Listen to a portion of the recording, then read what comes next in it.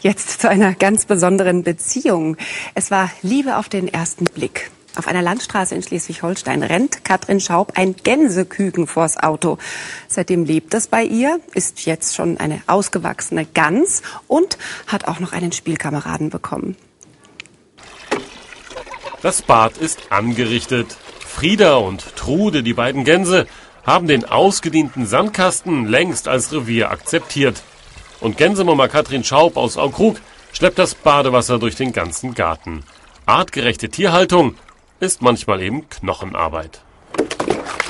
Also gerade im Sommer genießen die Gänse das auch, wenn sie sich mal ein bisschen abkühlen können und in ihr kleines Wasserbecken hier hüpfen können. Wenn wir keinen Ausflug an den Badesee machen, dann ist das eine gute Alternative. Uh.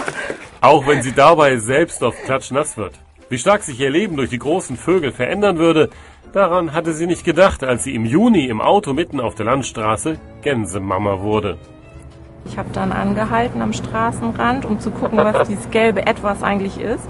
Und dann war das eben ein Gänseküken. Und äh, da weit und breit kein Bauernhof oder Stall in der Nähe war, habe ich das Küken dann eben eingepackt und mit nach Hause genommen, äh, damit es da eben nicht alleine sitzt und den Gefahren ausgeliefert ist. Und damit Findelküken Trude jemanden zum Spielen hat, kaufte sie auch gleich noch die junge Frieda mit dazu. Zu Hause hielt sich die Begeisterung in Grenzen. Das fand ich irgendwie auch ein bisschen komisch.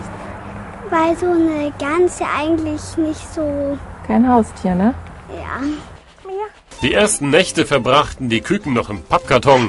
Doch wird so eine Gans ganz schnell groß und damit stellte sich für Katrin die Frage, wo sollen Trude und Frieda denn schlafen?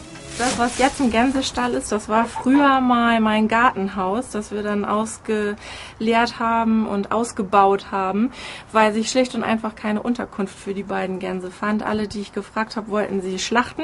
Das kam nicht in Frage. Solange für ihre Gänse nur die Alternative Katrin oder Kochtopf besteht, kümmert sich die 34-jährige Zeitungsjournalistin aufopferungsvoll um Trude und Frieda. Die beiden hängen auch sehr an ihrer Gänsemama und teilen sogar ihre Leidenschaft fürs Fernsehen. Also die Gänse haben mit Vorliebe die EM geguckt. Das fanden sie unheimlich toll. Wir haben hier zu dritt mitgefiebert und äh, uns die ganze WM reingezogen.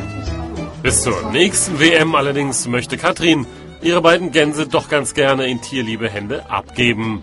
Einzige Bedingung, Vegetarier sollten es sein. Ja, bitte. Einen netten jungen Mann gibt's jetzt bei Leute heute. Und damit meine ich nicht nur Florian Weiß. Wer heute ganz tapfer war, das sehen Sie gleich nach nur einem Spot. Bis morgen um kurz nach halb sieben zu unserer Samstagsausgabe. Ich freue mich auf Sie. Aber jetzt erstmal einen guten Start ins Wochenende.